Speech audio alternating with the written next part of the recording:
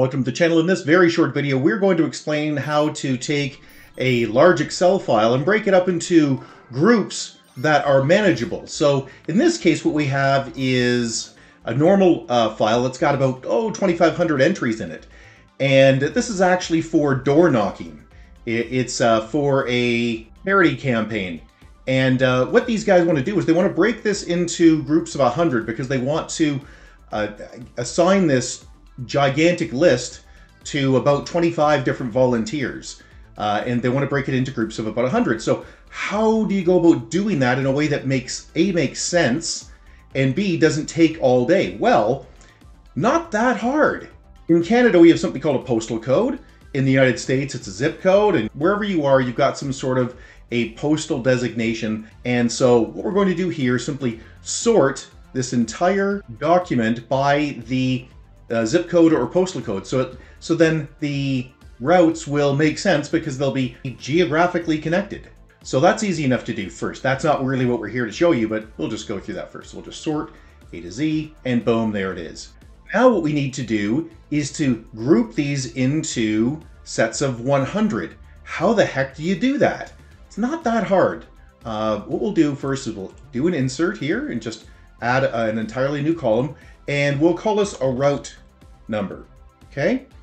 And in the route number, we're going to use what one of our techs came up with, which is a simple formula.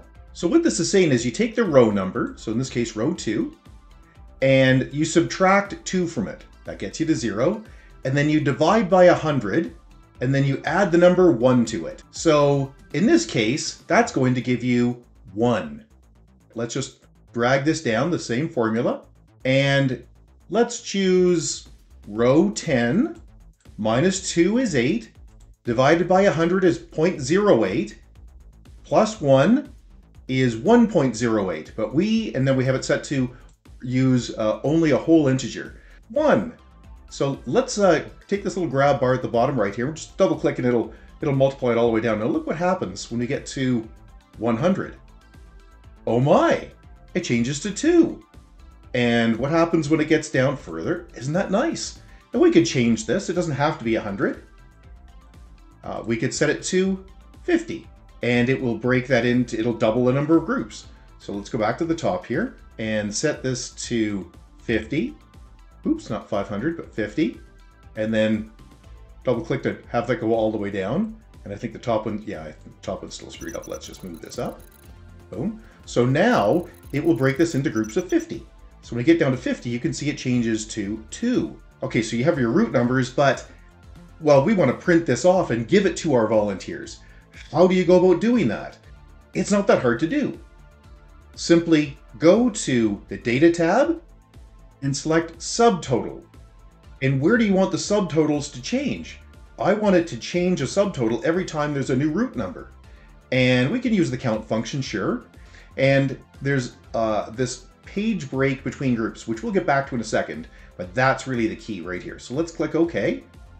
And now you can see these are broken into groups of 50.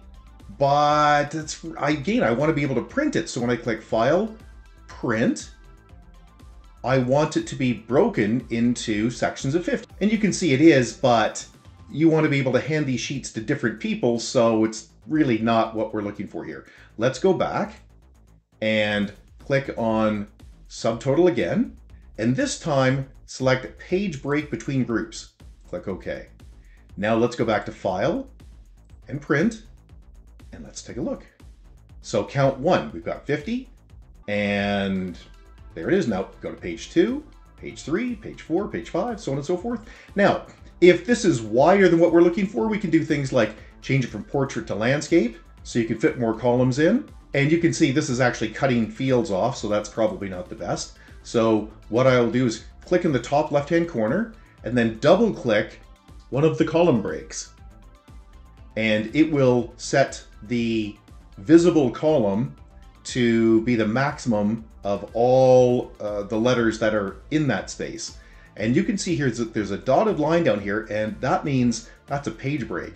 That's, that's the dotted line down, dotted line across are the page breaks. And you can see here, it's going to put the postal code on a separate page. Well, I don't want that.